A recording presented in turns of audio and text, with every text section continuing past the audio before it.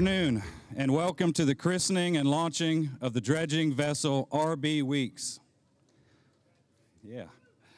I want to thank you all for enduring the summer heat to be here with us. This is a great milestone for our company and our customer and our community, and your presence here today makes it that much more special. So thank you. The RB Weeks is an 8,550 cubic yard capacity, state of the art trailing suction hopper dredge being built for our longtime customer, Weeks Marine. This vessel is a sister ship to the dredging vessel Magdalen that Eastern delivered to Weeks Marine in 2017. On behalf of the D'Isernia family and all of the employees here at Eastern Shipbuilding, I would like to sincerely thank the Weeks family and Weeks Marine for entrusting us with the task of building this beautiful vessel. Special thanks go out to Steve Chatry, Charlie McCaskill, Hans Blomberg, Suman Kadapali, and Jason Self.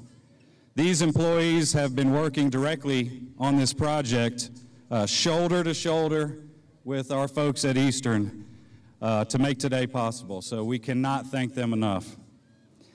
I would also like to thank the men and women of Eastern Shipbuilding Group that have worked tirelessly building this vessel during the post-Hurricane Michael recovery period and in the face of a global pandemic.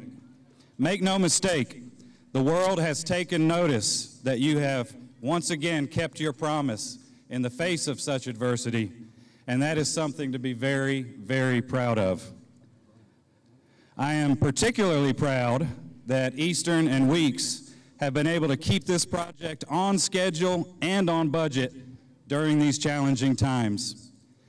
I can tell you from experience, this can only be accomplished when you have a motivated builder, a motivated owner, and a collective mindset to find solutions to challenges truly as a team.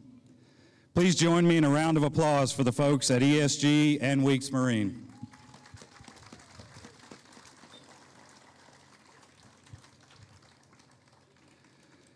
Joining me on the podium today is Mr. Rich Weeks, uh, CEO and Chairman of the Board of Weeks Marine, as well as Allie Weeks, today's uh, the vessel sponsor. And now I'd like to turn the mic over to Mr. Rich Weeks for a few remarks. Rich. Thank you. Thank you, everyone. Uh, my name is Rich Weeks. Uh, R.B. Weeks is or was my grandfather, and in a family tradition we have, he's R.B. Weeks. My father is R.N. Weeks. I'm R.S. Weeks. My son is R.M. Weeks. It can be a little confusing, but we use letters a lot in Weeks Marine.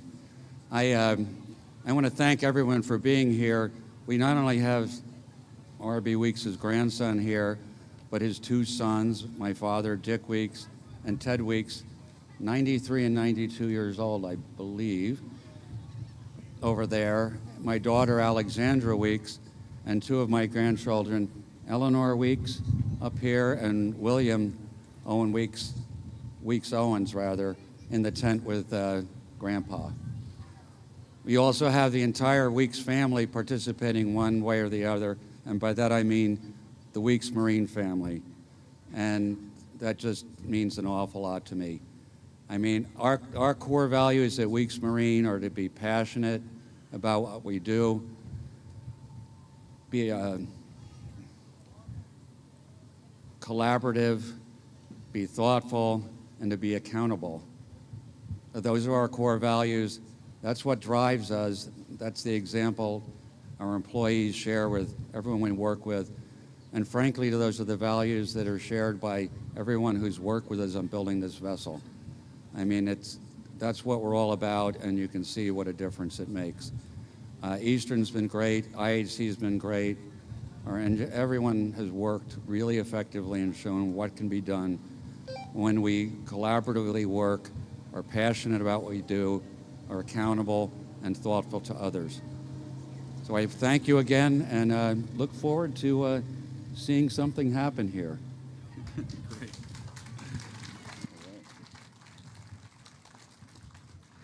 All right. Thank you for the kind words, Rich. Um, you made some great points up there, and it's clear to me why our two companies work so well together. We share a lot of common core values, and uh, our, our uh, families, both uh, our direct family and our company families, they're uh, equally important to both of us. So um, it's no wonder why we work so well together, and we're going to continue to do so.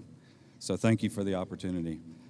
Uh, now we have uh, Father Kevin of St. John's Church is with us uh, today to bless the vessel. So I'm going to turn it over to Father Kevin. Father.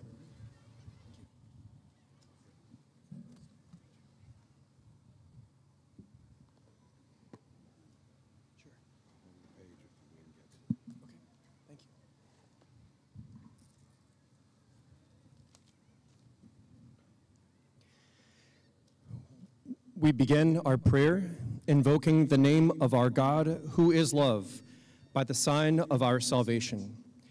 In the name of the Father, and of the Son, and of the Holy Spirit. This blessing today represents the work of countless people, talents, and time, all things given to us by our Heavenly Father. So, this blessing that we offer today is a prayer of thanksgiving for all of the work that has led up to this moment, and a prayer of blessing for protection for all who will sail on this mighty vessel. And so, for our reflection today, let us reflect on Jesus and how he proves he is worthy of all our trust. Jesus got into a boat, and his disciples followed him. Suddenly, a violent storm came up on the sea, so that the boat was being swamped by waves, but he was asleep. They came and woke him, saying, Lord, save us, we are perishing. He said to them, Why are you terrified? O you of little faith. Then he got up, rebuked the winds and the sea, and there was great calm.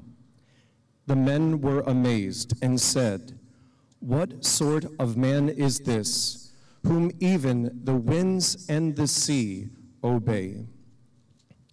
It is this Lord whom we invoke today to bless this vessel, and so we pray.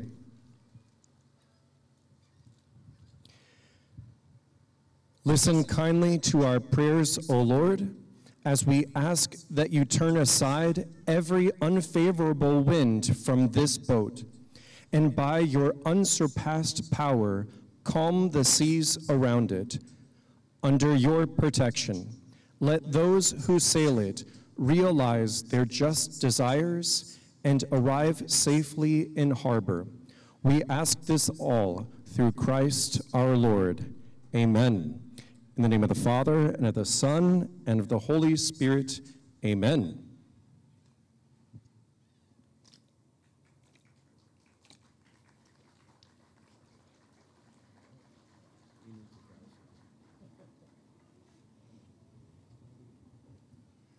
Thank you for that, Father Kevin. And now uh, we have Allie Weeks, Ms. Allie Weeks, who will be christening the vessel. Allie is uh, today's vessel sponsor, which is uh, quite the honor, so we'll get right to it. God bless this ship and all who sail on her.